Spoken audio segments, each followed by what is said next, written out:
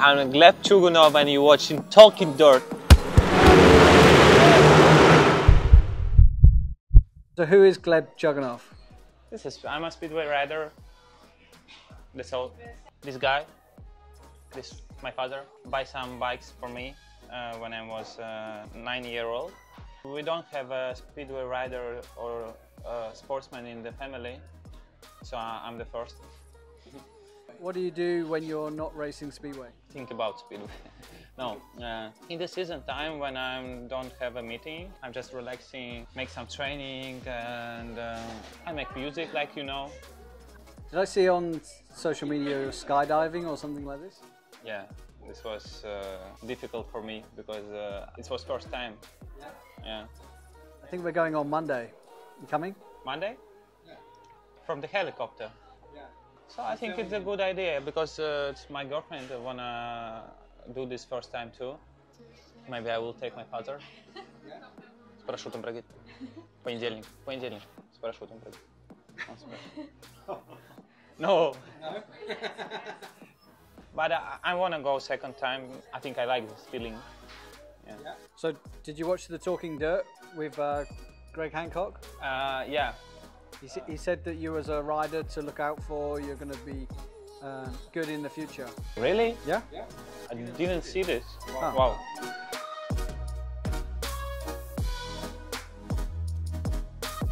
You know, uh, I don't know how much time you have right now to talk about Gleb, but I've got a lot of time for that guy and spent a lot of time working with him here in the club in, in Wrocław. And the dude is, um, he's so unique, he's so special, he's, uh, he's a good guy, he's a different guy, he's a different character, he dresses different, he acts different, and the guy can ride a motorcycle as good, if not better than most. So uh, I have a lot of good things to say about Gleb, and uh, it's going to be fun to watch him here in the Grand Prix. Do you think he takes his speedway seriously? you know, he takes the speedway much more serious than you would imagine, you know, and uh, some of the things that he says and the way he, he approaches the sport in a diff, such a different manner than anybody else, it's, uh, it's pretty extreme, very unique, and uh, the best thing I can say is that he's just Gleb. I don't know Greg uh, privately before, before this season. Greg is four times world champion, and when, when he just on the stadium, so his atmosphere is better, and uh, very cold uh, head, and uh, going for the win. I think you are the only speedway rider that Tai Woffinden follows. That Tai follow me. No, Tai follow Magic, I think too. Really? Yeah, really. You didn't know that? No, maybe he liked me. Yeah. Maybe. I, I have uh, three times world champion in the team, four times world champion trainer, and uh, one of the the best rider in the world now. So it's a very good time for the learning, for the explore myself, and for the just going to the front. Yeah.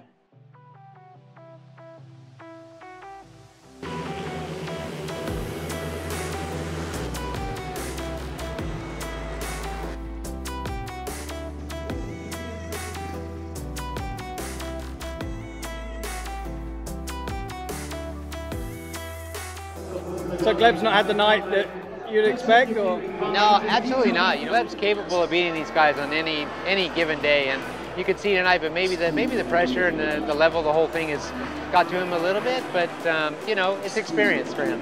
Dude, there's always tomorrow, and uh, you know, this guy's pretty capable of you know doing amazing things. So, like I said before, I've got a lot of time for this dude, and um, it'll be fun to see what he does in the future.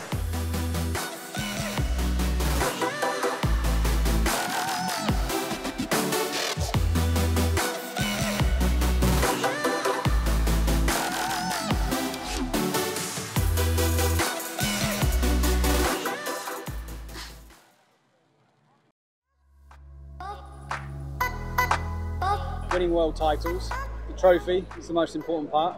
You know, where, where do you keep yours?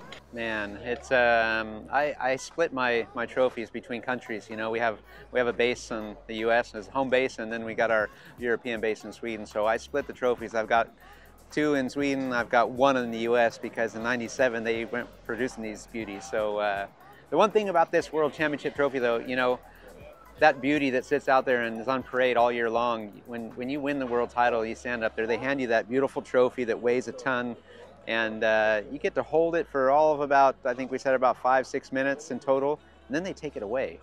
And you're like, really? Like, I raced my, my butt off all year for this, and you take it away from me? But then they give you the replica a little later, and uh, that holds a pretty much a pride possession in my house and in both houses, and uh, I often give it a little polish and a little kiss. so, are you able to present this trophy to Bartosz for us? This is his 2020 uh, replica trophy. I would be more than honored to present that, and uh, you know, this thing brings back some great memories. And uh, as much as I'd like to rub and kiss it now, I better not. Bartek, it gives me great honor to hand over this beautiful trophy. I can I appreciate all the hard work that uh, goes into winning something like this, and I'm sure that you you know probably treasure this equally as much as I do, if not more. And uh, it's uh, it's a great honor to hand it over to you. You're an amazing rider. Thank you very and, much. And uh, I'm sure we're going to see you getting more this of these. This is my dreams always. Yeah. A lot of years I be the two times the same trophy and very happy and I keep going and maybe more, but we'll see in I'm the pretty future. sure. I'm pretty sure. Absolutely. Thank uh, you very much, Greg. Yeah, make the most of it, buddy, and uh, keep going. Thank you. Keep going. Where, where are you going to keep the trophy? well, uh, I my special room in the house and for the this trophy, and now it's two very close to, together, so look like great. I think so.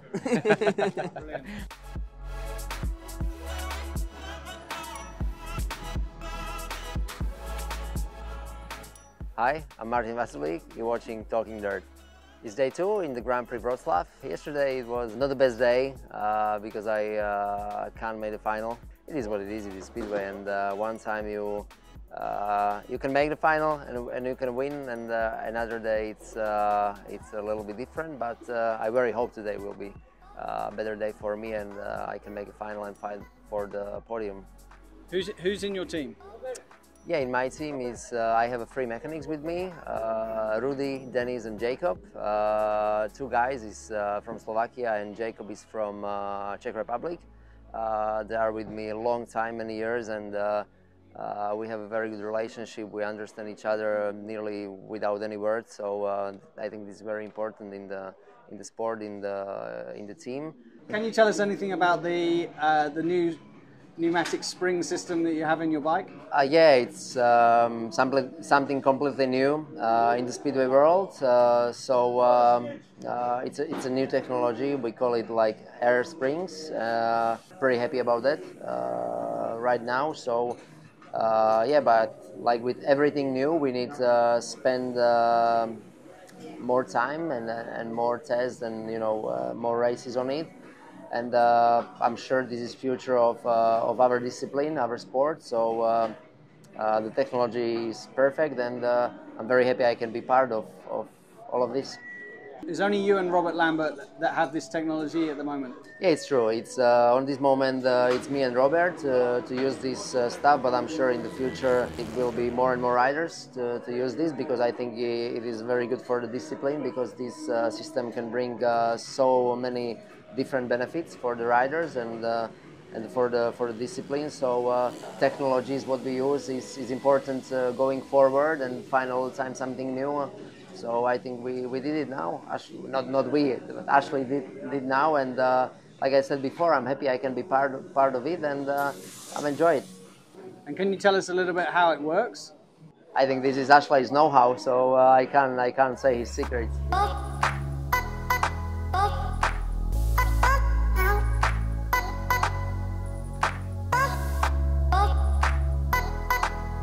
So yeah, I've teamed up with with the Made Racing in, in the UK for Sławek Made. He works for Mercedes F1. Um, so to be able to have this sort of technology in Speedway is, is something really special. Our aim is for the engine to uh, do around 100 races without doing any any uh, any servicing. Compared to how many now? Now it's roughly 25. So uh, the F1 cars are doing around 7,000 kilometres per um, on uh, on those springs. So if you calculate that into speedway. Of course, it's a different discipline and stuff, but I'm pretty sure we will. Um, I'm pretty sure it's a massive step forward for, for speedway, and it's uh, it's something that we um, we're really looking forward to. And also, it's uh, there could be an edge performance-wise. So so yeah, it opens a new door.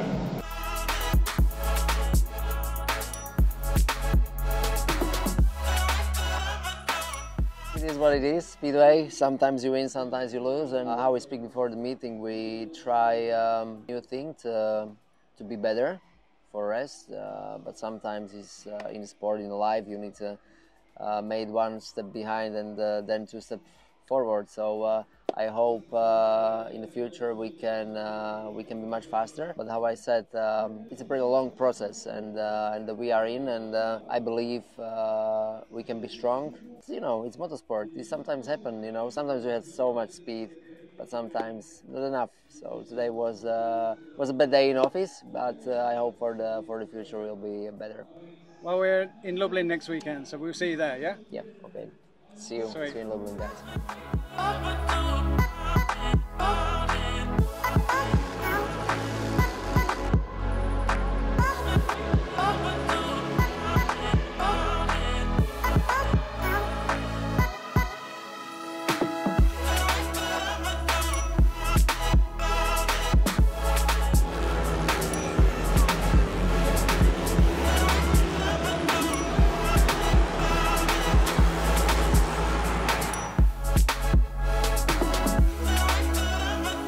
Don't get better than that. Play with the big dogs, you need to get off the porch, huh? What's up, Grand Prix done and dusted? How did it go?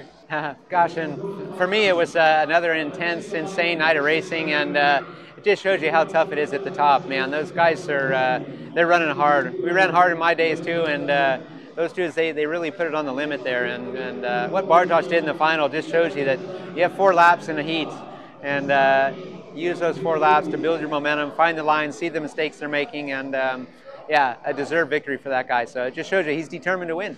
I won't be in Lublin on this one, sadly, but uh, I'll be back again soon.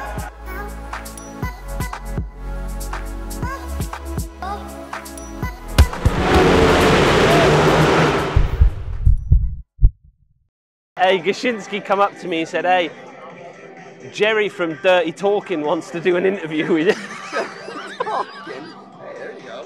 after hours. That's the behind the scenes. That's the other show. How much is Magic loved here? You know, it's uh, you only got to listen. You know, the chants in between, right before the you know he pulls up to the starting line and they start chanting "Magic, Magic" or "Mache," like uh, you know, makes the hair stand up on my back. and I got hair on my back.